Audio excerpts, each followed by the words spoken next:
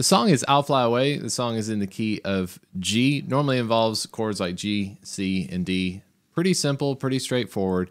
But if you've gotten pretty quick at your chord changes, you can use these transition chords. And so on the beginning of the chorus, what I would play is one, two, three,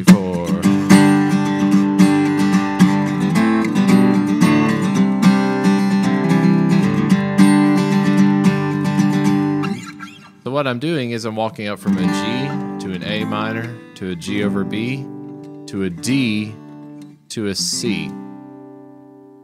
So when you're doing these quick transitions, the only thing I'm usually thinking is hit every chord you can on the way there except for the chord you're trying to land on. So we're going from G to C. I'm walking up to it, I'm shooting over it, and then I'm going to the chord.